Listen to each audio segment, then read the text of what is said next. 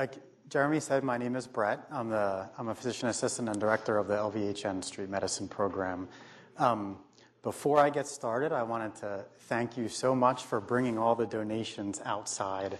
Um, that stuff is so important to us, and the reason why is because our patients are are all homeless, and I'll go into the uh, what the program is in a second. But it's healthcare is very different than just medical care.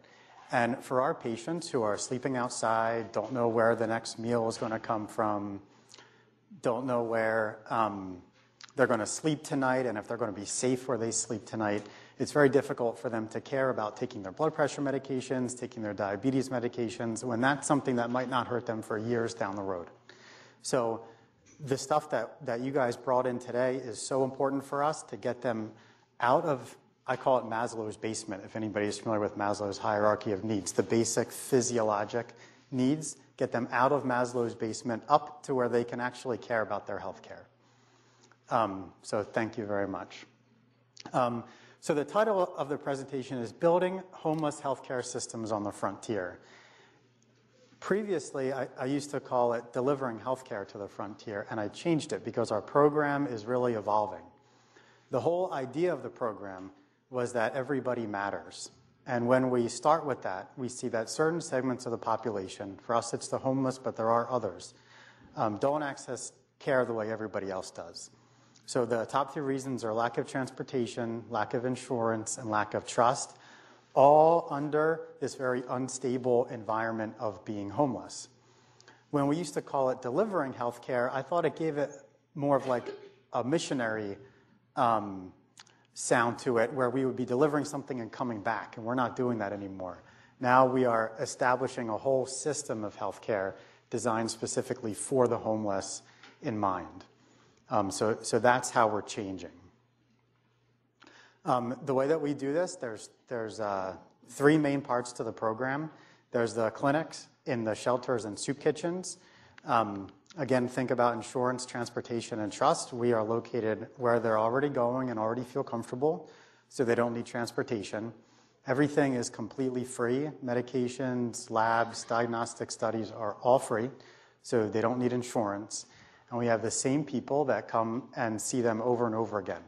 So the full-time employees are myself and Laura, who is our nurse, but since we've started two years ago, was like the official launch of the LVHN program, we've had over 200 LVHN employees volunteer with us, 84 of which are providers, doctors, PAs, and nurse practitioners. So it's truly been a a huge effort from the network to, to make this work. And, and further, last winter, we took a collection. There was 5,600+ pounds of goods collected just from network employees that we've been delivering all year. So, uh, it really is an amazing place to work when you look at those figures. Um, the second part of the program is is the street team. So we talked about how we have clinics in the shelters and soup kitchens, and that everybody matters, but not everybody is willing to come to the shelters and soup kitchens. So for them, we go to them and deliver healthcare on the streets, in the woods, under the bridges.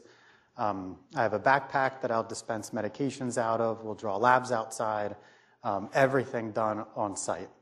And then the last part is the hospital-based consult service, where if somebody is identified as being homeless and admitted to the hospital, we'll come see them, help the medical team understand what their version of homelessness looks like. So are they sleeping in a shelter where they get three meals a day in a clean bed?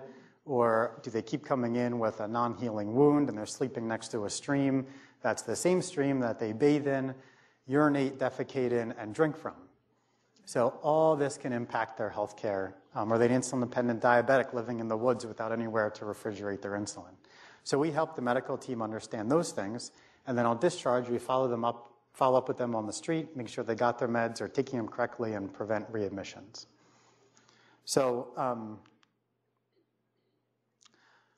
in the past year, we have gotten a little bit of press um, for the work that we've been doing. It was never something that I've been particularly comfortable with, but in a lot of ways, our folks are very invisible. And um, if I can uh, in in some way show people what they're experiencing um, without obviously any exploitation or anything like that, but show people what they're experiencing. And yes, this is the Lehigh Valley, and it's definitely here. Um, so I just wanted to show you one of the quick videos. This was uh, on CNN. So street medicine is really a program that was born out of the idea that everybody matters. We see that there are certain segments of the population um, that just don't access healthcare the way everybody else does.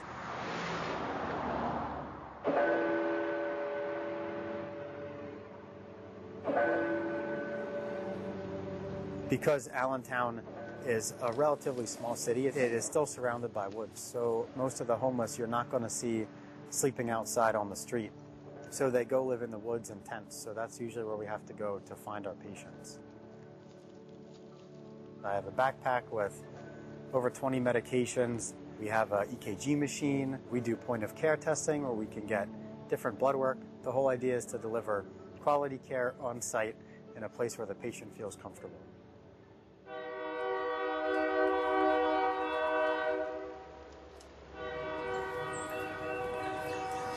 Do you still have that inhaler, Mike? Yeah. How often are you using it? 102 over 68. 98.4. Everything we do is completely free. We provide free medications, free labs, free diagnostic studies, so they don't need insurance. And we have the same incredible people that see them all the time. They get to know us and trust us, and uh, we're lucky enough that they allow us to help them. Okay, just breathe normal. Doing this job can be extremely difficult. You just see things that are really hard to see and, and sometimes feel helpless but one of the things that, that I always try to do is just try and completely forget myself in it. To remember that this is not about me at all, it's just about the patients. It doesn't matter if I'm tired, it doesn't matter if I'm frustrated with trying to help somebody. It just doesn't matter about me, it matters about them. So I try and focus on them and their needs.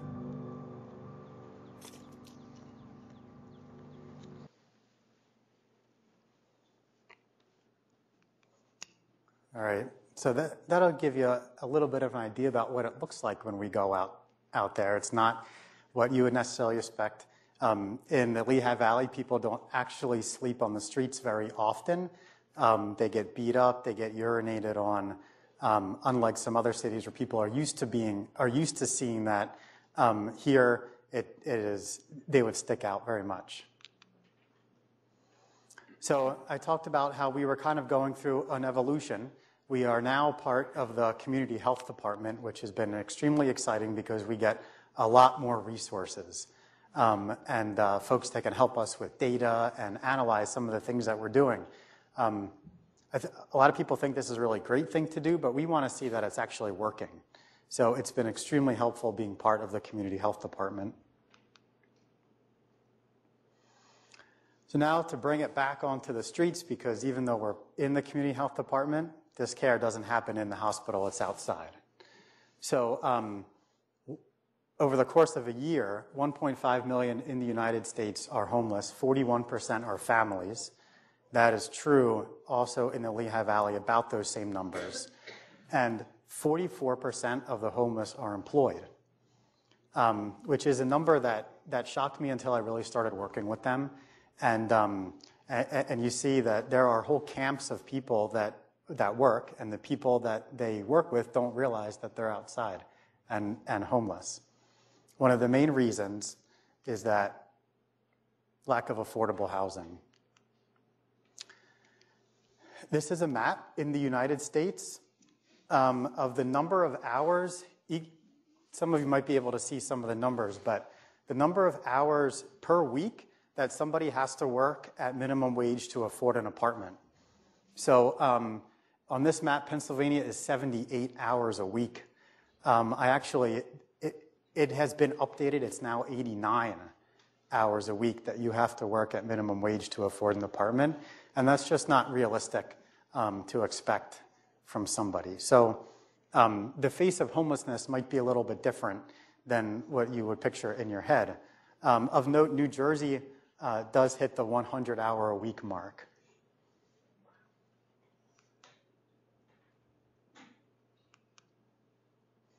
Um, and the homeless are sick, which is part of the reason why we're here, right? So the average life expectancy is 42 to 52 years. Uh, the reason for the range is because there's different studies and it depends on who they counted um, as part of the study, but I don't think it really matters. Even if it's 52 years, that's, that's very low. I don't know of any other social determinant of health that decreases life expectancy by almost 30 years. 38% have two or more major medical illnesses.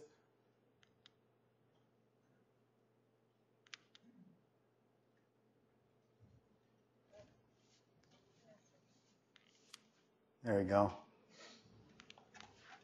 25% with severe mental illness. This might be lower than some people think. This is uh, it, it's severe mental illness, so bipolar, uh, schizophrenia, schizoaffective, not not um, your a- average depression or anxiety. And and again, this is about what we see. Maybe maybe a little more. Sorry, the clicker's not. There we go and 30% with a drug use disorder. This was a recent study that was published. I can tell you for our patients, this is very low. And this study was performed before the opioid epidemic, so I wonder if they redid it now, what, what it would be.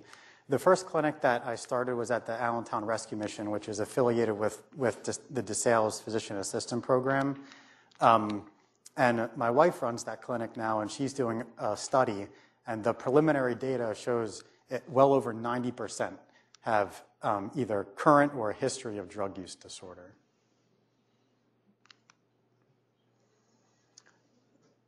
And they use healthcare a lot too, because we're in the healthcare system and we care, one, how healthy they are and how they utilize healthcare, because maybe there's something we can do to affect that. So they have more hospitalization days, more cost per day. They stay longer for each admission. So the average length of stay of a homeless person is nine days, which is four days longer than a house patient, and the 30-day readmission rate, 50.8%. So for, uh, for comparison, it's about 20% um, for the house population. So when they come, they're coming often, they're, and then when they get discharged, they come back often and they stay a long time and they're still sick. The good news is, is that by providing basic primary care on the street we can decrease ED visits by 80%. When I first saw this number, I thought there is no way you can decrease anything by 80%. But when you think about it, if there was no more primary doctors, nobody could have a family doctor, and the only way to access healthcare was through the emergency department. That was the only point of entry into the system. You could see how ED visits would just skyrocket. So that's how they access healthcare. So um, we're not doing really anything special, just providing a different outlet and that basic primary care that we all have access to in a different location where, where they can access it and feel comfortable. And this is how we do it, which um, we talked about briefly. So the shelters and soup kitchens, right now we have seven locations in Allentown, Bethlehem, and Easton. They're all pretty much set up the same way. There's a a small pharmacy on site that we, that, that we dispense medications out of, and we don't change anything in the, in the structure itself, um, and we try not to change anything in the look of it. So this is their shelter. We are using their space, and um, very often they'll contribute into how it looks. So maybe they'll, some of the residents will help put up a wall, they'll decorate it for us. I want them to feel a part of it and them to feel like this is their clinic, and we're just guests in it. Um, so like I said, we have seven sites right now. The street team, we cover um, Allentown, Bethlehem, and Easton as well. There's camps in, in all three cities, and that's a very much evolving thing. Um, I would say right now in Allentown, it's much higher than I've ever seen it. Um, and in Bethlehem, Easton is a little bit lower than I've seen it recently. So it, it's something that we're always keeping, keeping tabs on. Um, there are many patients that will not see me anywhere else besides on the streets. Um, and I don't think that they deserve any less quality health care than anybody else if that's where they feel comfortable getting it. So we've really tried to beef up the quality of care that we're delivering out there. So, like I said, we can dispense medications, we'll take blood work. Um, I don't like taking blood work in the woods or under the bridges because then our day's over. We have to go home if we have blood. Um, but if that's the only way I know that they're going to get the blood work, that's what we do. Um, I mentioned in the video we have an EKG machine. It's called a Smart Heart Pro. It's the size of my fist. It goes around the chest wall and gives a full 12 lead directly into Epic. So everything we do is in Epic. So if they access care anywhere in the network, they can see that we've been seeing them. Um, and the last part is the hospital-based consult service. We see between 25 and 30 consults a month um, in the hospital. So it's been, um, I just counted, it's almost 500 that, that we've seen over the past two years, a, a little more than two years, uh, which is much more than I thought. I was expecting maybe seven or eight a month. Um, and I worked as a hospitalist before I did this, so I thought I knew who was in the hospital, but I didn't. It's way more than I thought. So, how are we doing? Right? We have this program, we think it's okay. So, what are some of the outcomes that we can measure? Um, the 30 day readmission rate is, is one that we talked about before that you know that the hospitals are always looking at. So, the published data shows 50%. When we first started, the patients before I saw them were also about 50% readmission rate. Um, and then over the next year, it was 27%, but the past two quarters were down to 10%, 30 day readmission rate. And um, people ask me, how, how did you get it down that low? And there's, there's a few reasons. Number one, luck. All it's going to take is one super utilizer that's going to blow that out of the water that I just can't get out of the hospital or keep out of the hospital. Um, and, we haven't had that, thank God, over the past two, uh, six months. Um, and actually, since then, too. Um, so I think we're probably going to level out somewhere in the 20s. Um, I can't see how the homeless would come back less than the housed population, but we'll see how it goes. But the other reason, besides luck, is that, like I said, we're just providing basic primary care. So you all, without primary care, would be sicker too. So all we're doing is giving them this care that, that we all get. The other thing that, that we do is we sign them up for insurance. So going back to insurance, transportation, and trust. And I'll tell you why this is important to us. It's important um, because, well, it's, it's good for the hospital to get paid for what they do. But the main reason why this is important to us is because when our patients go into access care in a more traditional setting, they, they feel like they belong there. It's not a charity case anymore. They have something that they can offer. And, um, and, they, th- and they, do are, they do get looked at differently when they have insurance than if they're uninsured. So it's really a way of empowering them that they can take control of their own health care. And that leads to taking control on other things in their lives as well. Getting the homeless insurance is not an easy thing to do. There's no address, there's no IDs. In order to get an ID, you need a license or a social security card um, and a birth certificate. And if you have none of those three things because you live in a, in a tent in the woods, you have to start from ground zero. So um, we've been willing to take the time to go through that process with them, and it can take it can take months. So it, it took a few months for us to really see a jump once things started getting approved. Um, the other thing, so we've established that there's homeless in the country and that they're sick, and maybe we're helping a little bit. But what we haven't looked at is how many homeless are there. And uh, people used to ask me, how many homeless are there in the Lehigh Valley? How many are coming into LVHN?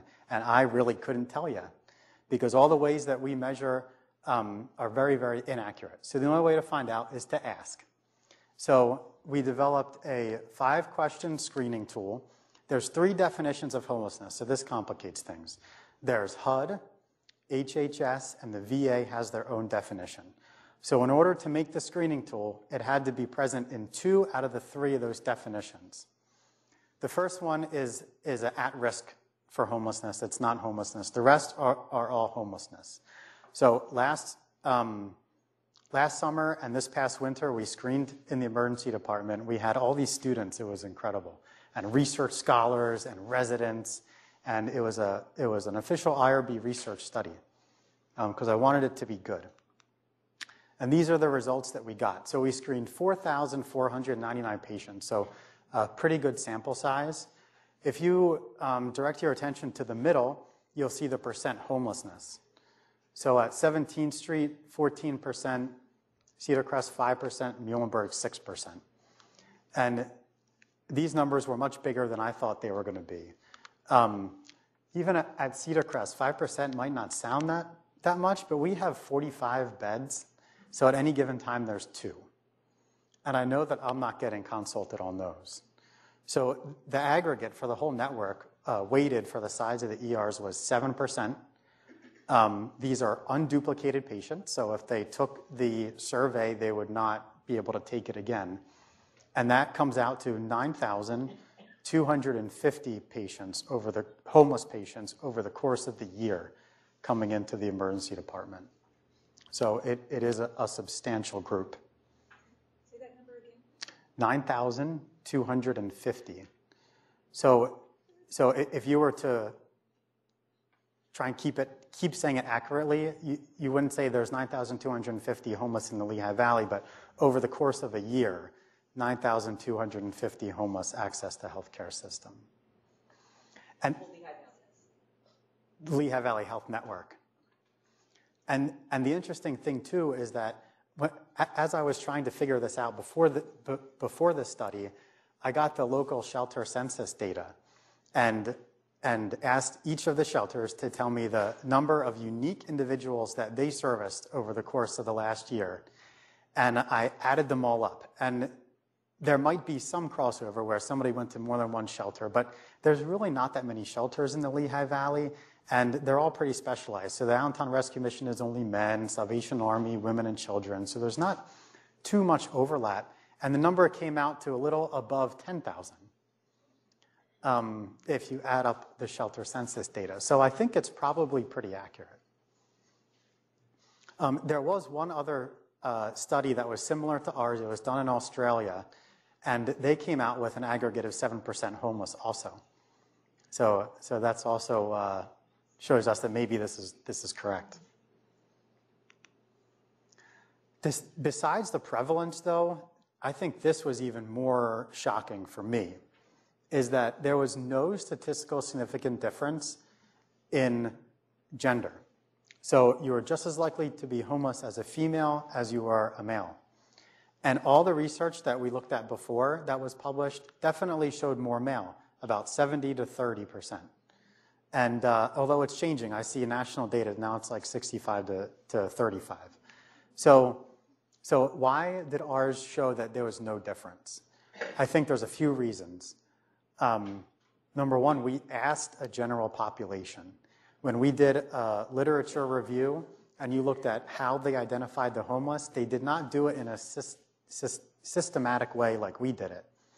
Um, so I think part of it is, is how you identify the homeless.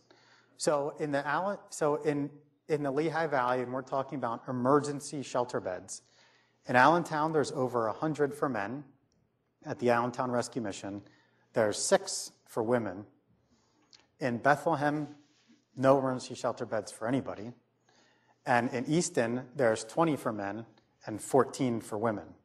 So over the Lehigh Valley, you have 120 plus beds for men and 20 for women. But our research is showing that the numbers are the same. So where are all the women? So I started asking the women, why are we seeing this and there's not a lot of shelter beds? And they, they looked at me and they said, you know, I felt silly. They said, when you're a woman, there's always one thing that you can trade for food and shelter, and that's yourself. So I started asking them, uh, have you ever or felt the need to trade sex for housing or food? And I was amazed at how many people were saying yes.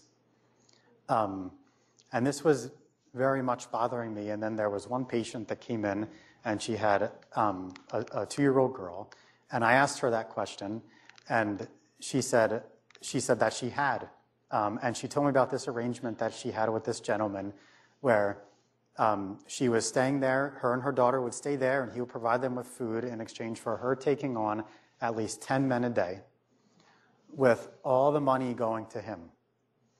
And I asked her, Why would you do something like this? And she said, If I didn't do it, I would be on the street and I would lose my daughter probably forever. So she had to make the decision do I take this deal with this guy or do I lose my daughter forever? And um, I didn't think anybody should have to make that decision. So, one of the things we're really focusing on is trying to boost the number of, of beds for women in a shelter or in a transitional living uh, facility because um, uh, this is going to keep happening. And, and what it really amounts to is sex trafficking. Um, so I started looking into it because the money is all going to this guy. It's not going to her, which would be more prostitution, right? So, and I found out that the Lehigh Valley is a big highway for sex trafficking. So we have um, uh, the Truth Home, which is uh, DeSales also has a clinic at the Truth Home, which is a shelter for sex trafficked survivors. And there's VAST, Valley Against Sex Trafficking, with, which is an advocacy group.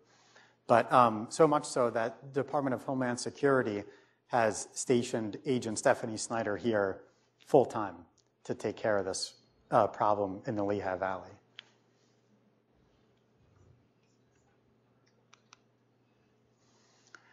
So, this was one of the places that one of our patients was staying.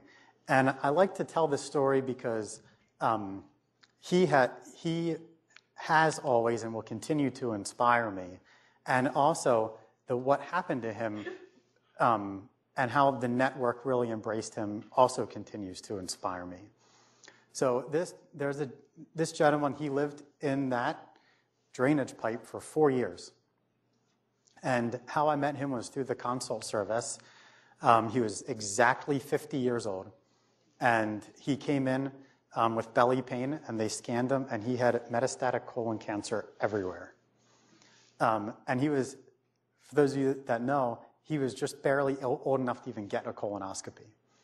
Um, so metastatic colon cancer everywhere. Uh, decided that he did not want treatment. Um, at the time, he so this was in downtown Allentown. I'll tell you where, where about where it is because he's not there anymore. Um, but uh, like off Martin Luther King, around Martin Luther King area, and he was walking to Airport Road for work every day. Um, so that's how much he was trying to make himself better. Um, so I felt really bad discharging him back to that with his uh, metastatic cancer diagnosis. So I talked to our um, colleagues at hospice, and in order to go to inpatient hospice, usually um, life expectancy is like a week or less, and you need some sort of um, skill. So, respiratory support, pain management, and he didn't really have any of those things. But they too felt bad discharging him to, to this, so they, so they said that they would have a bed for him.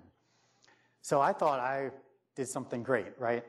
I walk in, I'm like, don't worry about it. We got a bed for you. You don't have to go back to the drainage pipe. He said, but didn't you say that everybody there is going to die within a week?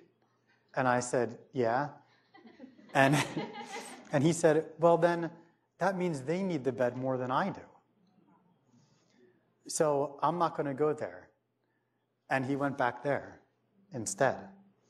And um, then we actually did like a street palliative care, street hospice out there with him. He's still the only person I've ever given opiates to or narcotics because um, I thought he, he would deserve it. And he, and he continued to get worse, as you would expect him to get worse. Um, we eventually uh, did help him get into an apartment. A guy rented him a, an apartment for $150 a month, which is enough to cover his expenses. So he got into the apartment, still did not want to go into hospice. We helped him support himself in the apartment.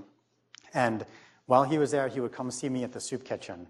And I would let him walk because it was a few blocks walk, and it would kind of tell me how well he was doing. And it started getting to the point that he was looking pretty bad.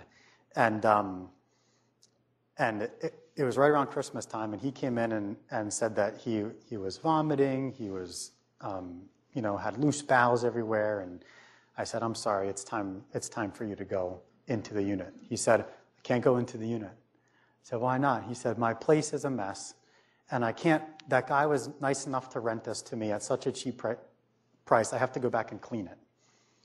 And I'm like, you can't go back and clean that. He could barely walk. So we all went and we cleaned for him. Um, and he, he insisted on helping, and he did. Um, went into the hospice unit, and um, they really adopted him.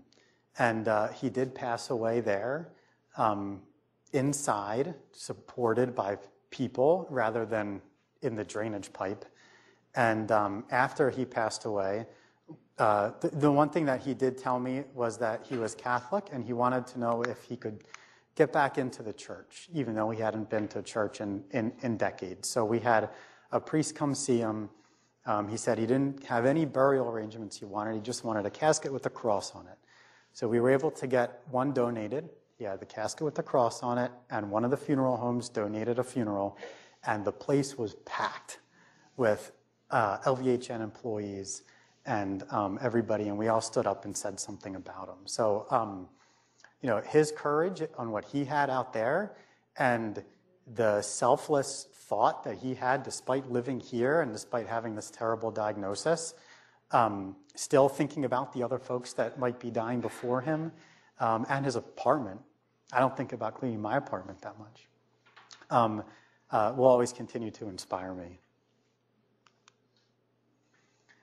So when we meet a lot of our patients first, um, this is how they feel. This is on a, a train switch in Easton on the way into one of the camps. Sorry, folks, the future is canceled. Because being homeless is very dehumanizing. You sleep in places that people shouldn't sleep, eat things that people shouldn't eat. Um, I, I, saw a study one time where they watched somebody panhandle, and one in only 600 people acknowledged them as as being human.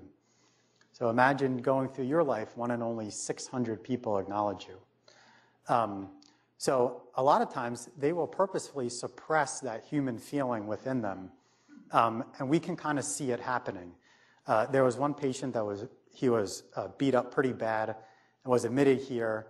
I went in to see him, and he said, "You know what, Brett? I didn't even fight back."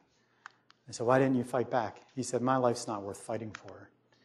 And um, so he had purposefully suppressed that f- feeling of humanity because he felt unwanted, unloved, nobody to nobody. And um, it was easier this way for him. But a lot of them have so much hope um, that, just like our, our friend in the drainage pipe, uh, always continue to inspire me and make me work even harder for them. So this was uh, somebody's front yard. He was living in a overturned dumpster. And um, one of the things that's very important to them is sanitation. So going back, um, you know, a, a, hundred years, one of the biggest advances in medicine was sanitation, even more so than antibiotics. Um, and because of where they're living, they have to go back to that too. So this was in, in his front yard. This is his urinal.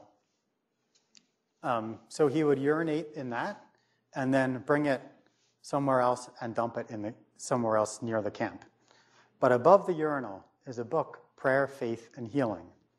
And that's the book he was reading. And I just thought it was incredible that here's a guy living in a dumpster with his urine in his front yard, and he still has hope. And I think more than anything, that's what we try and provide for our patients is just the, the hope that somebody knows that they're out there, cares that they're out there, and is trying to make them better, um, much more than any blood pressure medication that we can give them. So, just some take home messages. Um, the homeless are here. And as a community, we should decide if we're okay with that. And if we're not, how can we change it?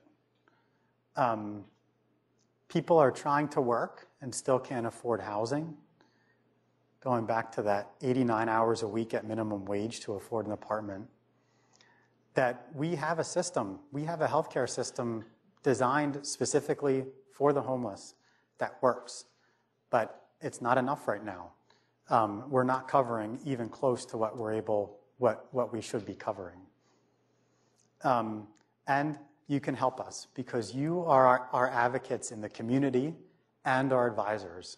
So when you go to whatever job you go to or organizations that you belong to or boards that you sit on or all the things that I know you guys are very busy people. Um, just keep them in mind, and if there's anything um, that your organizations might be doing that, that could possibly help them and help the community get out of this, Dr. Nester always says we're only as healthy as the least healthy members of our community.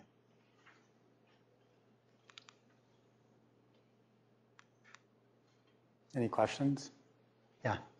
Do you work at all with uh, the social workers through the high school to know the number of students in the high school that are homeless?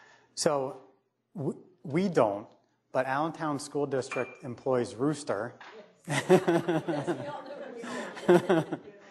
and we work with Rooster. So we're like one, one for those of you who don't know Rooster, because I'm sure not everybody knows Rooster. So he, he, was, uh, he works for the Allentown School District. His real name is not Rooster. And he was um, hired in 1986 on a grant that was designed to get homeless kids into school. And he's the only one left on the grant, which you could imagine starting in 1986. But every year he reports to, to the state how many homeless children um, he's helped. And um, since I've been involved, it's been going up every year, and it's about 700 in the Allentown School District alone. The problem is that there's only one rooster, and no other school district has him, and he only has one of himself.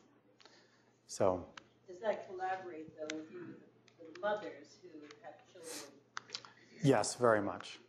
Yeah, yeah. I have a question. Uh, you, you began this program, is that correct? Yeah.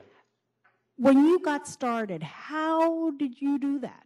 I mean, you had to, did you put a proposal together? Who did you go talk to? I mean, what convincing did you need to do? Because it's forward thinking, and, and so I'm curious on how that happened. A lot of it was divine intervention, to be perfectly honest with you.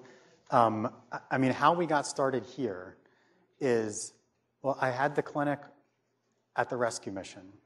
And I think having that clinic, it had been in existence for maybe five or six years, but it gave some credibility um, to the delivery methods and um, that, that we could make this work.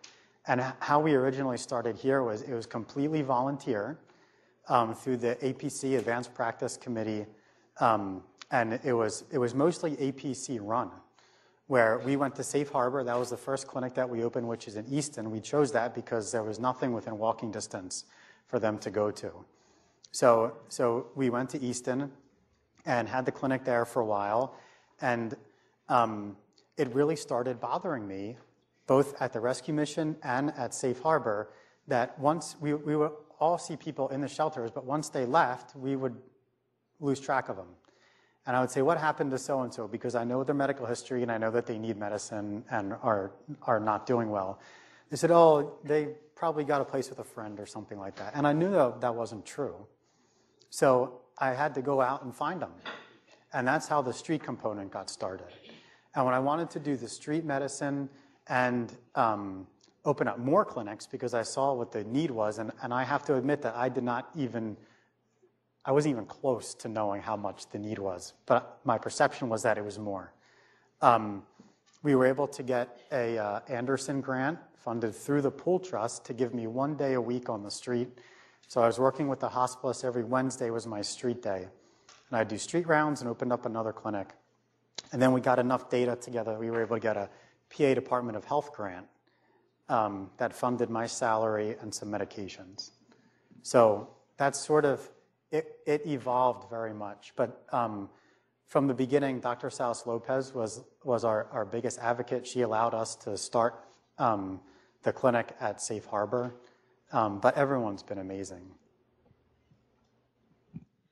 Uh, first off, I think what you're doing is absolutely commendable and admirable, and I'm very proud of the hospital and yourself.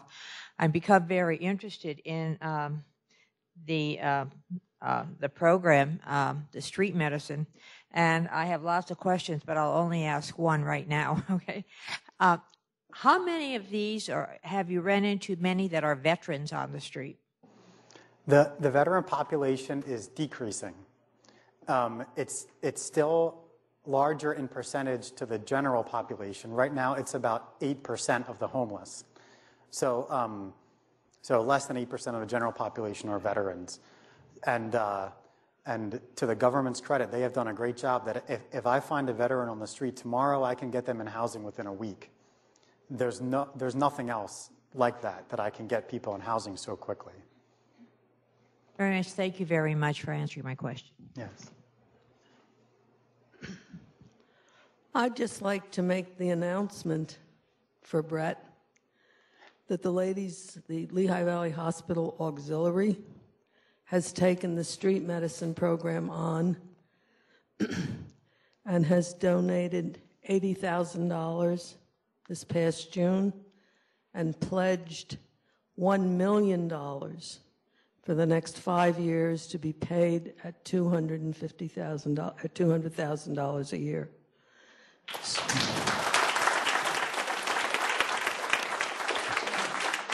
As ex-president, past president, I just feel I had to let everybody know what the auxiliary is doing for this program.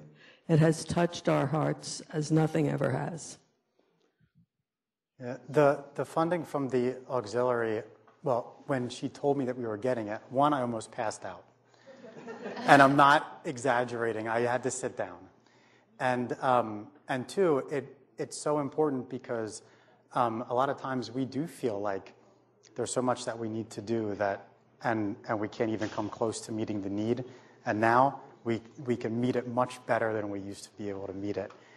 So it's incredible. I have one last question. yeah, hi. I have one last question. I'm just asking more about Allentown. There's been all the redevelopment downtown. Has that displaced many people to, has it created more homelessness? I know that the cost of apartments is probably going up downtown.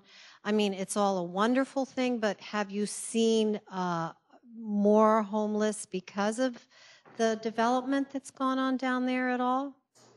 Um, I don't know that I can directly relate it to the development. Um, our, our patients, the, so the low cost housing that lost was not really their housing because they're homeless. But it makes it hard, much harder for them to get in somewhere. Um, and, uh, and I have noticed more homeless in Allentown. I, I can't say it's directly related to that, but it is more than it used to be. All right, thank you very much, Brett, for your presentation today.